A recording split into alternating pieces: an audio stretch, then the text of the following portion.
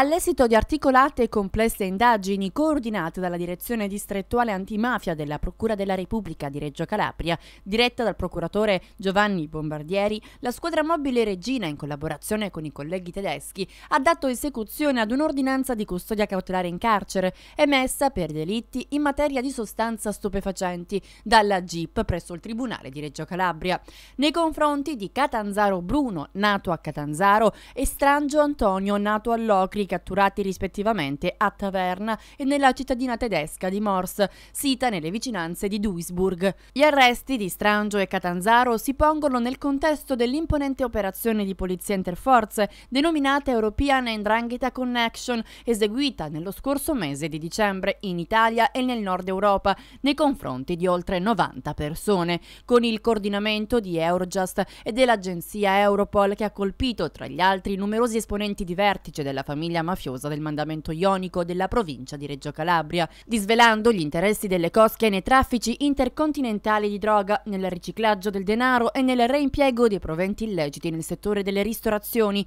Tale operazione è stato il frutto di anni di intenso lavoro investigativo svolto nell'ambito della Joint Investigation Team, costituito il 18-10-2016 all'AIA. Dopo una fase di arresti nel dicembre scorso, le indagini sono proseguite per la parte curata dalla squadra mobile di Reggio Calabria. Il tutto mediante una serie di approfondimenti di elementi derivanti dalle attività tecniche di intercettazioni. Tali attività hanno portato alla luce alcune condotte di Catanzaro Bruno in ordine al fatto di aver accettato in vendita una quantità imprecisata di cocaina e di un cartone di sostanza stupefacente del tipo hashish detenuta in concorso con Gentile Giovanni nato a Locri e Pelle Domenico nato a Locri nel 92, entrambi già arrestati nell'operazione European Drangheta Connection. A Catanzaro Bruno viene contestato invece il delitto di detenzione di un campione di sostanza stupefacente del tipo marijuana denominata amnesia e di cessione al prezzo di 3.000 euro al chilo di un'altra sostanza stupefacente del tipo hashish,